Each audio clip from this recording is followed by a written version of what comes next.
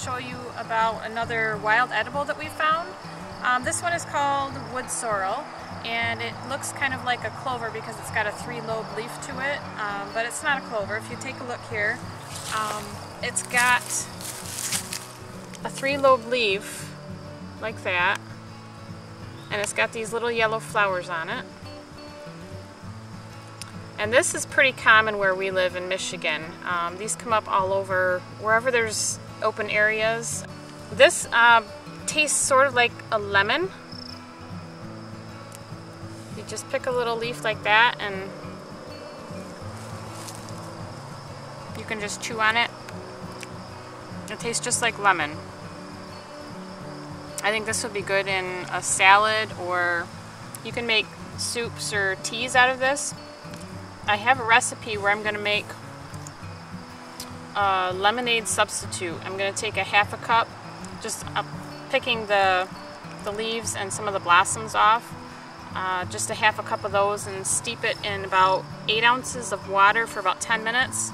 And then I'm going to cool it down so that it's a cold drink and we'll see what that tastes like. I might add some honey to it just to make it a little bit sweeter because this is kind of tart, but as with anything, if you're going to pick something growing in your yard, especially if you want to eat it, please make sure that you're positively identifying it. Get yourself a good um, foraging book and use the internet to get some good pictures and information.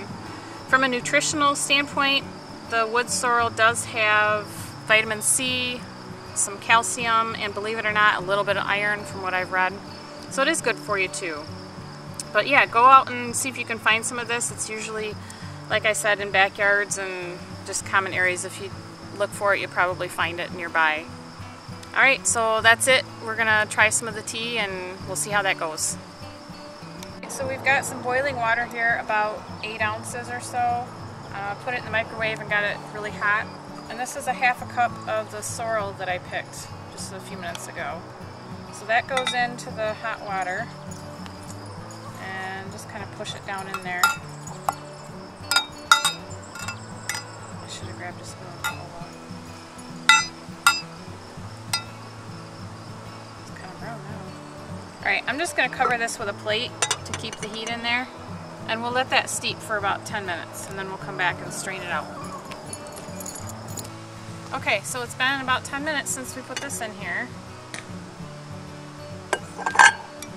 And I've just got a little strainer, fine mesh strainer. I'm going to strain the leaves so we just have the liquid left.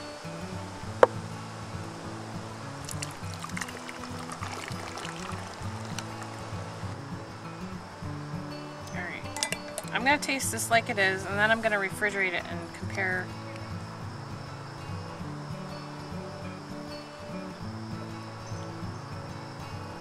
It is kind of tart.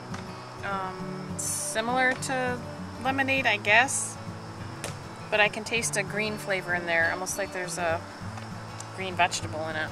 So I'm going to refrigerate this and probably sweeten it, and then we'll try it then. Okay, so I just got this out of the freezer. I had it in the freezer for about an hour, I think, uh, just to get it cooled down. And it's got a little bit of ice in it, looks like. I did sweeten it with about a tablespoon of honey, but I haven't tried it yet, so let's try it.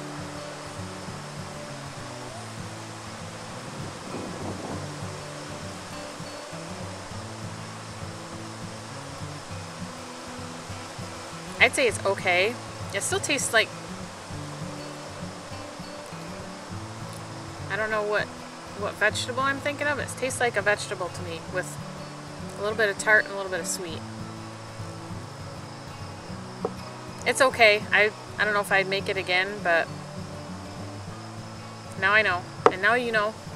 So if you want to go get some uh, wood sorrel sometime and put it in some salads or try something out, um, I think it's good just munching on plain by itself, but you can try it in a couple different things, I guess. And if you find something that you really like, let us know and uh, send an email or comment down below. Alright, see you later.